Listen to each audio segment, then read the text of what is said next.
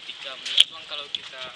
identifikasi permasalahan di Bangkok eh, mungkin dari ada nggak tahu jalan, tidak adalah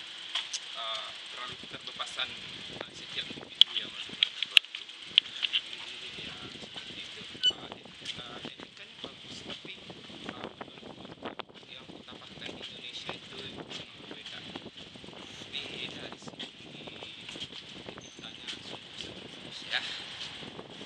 Uh, berarti kalau dalam etika sangat bagus tapi rasa toleransi antara sesamanya itu masih kurang ya? Oh, masih